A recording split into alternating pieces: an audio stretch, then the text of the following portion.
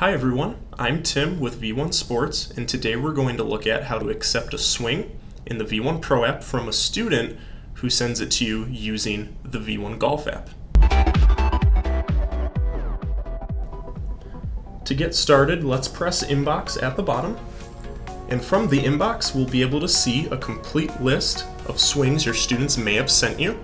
So for me, I'm just going to select the first one here, in order to download this swing directly to your library, all you have to do is accept, and also all of your students' information, like first name, last name, and email address, are automatically added to your students list anytime you receive a swing to your inbox.